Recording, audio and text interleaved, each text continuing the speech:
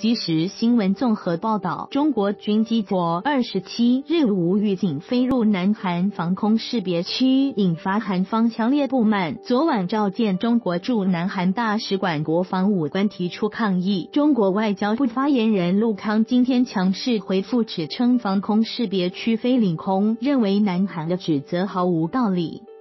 综合媒体报道，对于昨日共机闯入南韩防空识别区遭韩方提出抗议，中国外交部发言人陆康于今天下午举行的例行记者会上表示，中方军机是赴相关空域进行例行飞行训练，完全符合国际法和国际实践。陆康并声称，防空识别区非属领空，韩方根据防空识别区对中方进行指责毫无道理。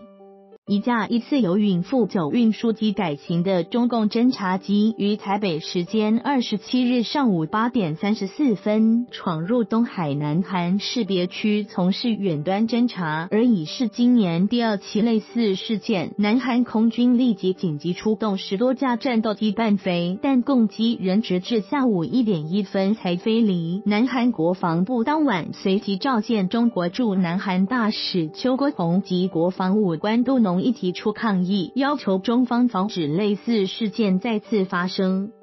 据韩联社报道，南韩联合参谋本部 （JCS） 一名未具名的官员表示，中国的意图似乎是在检验韩国军方的反应作为。更有专家认为，中国是在测试南韩军方的雷达探测能力。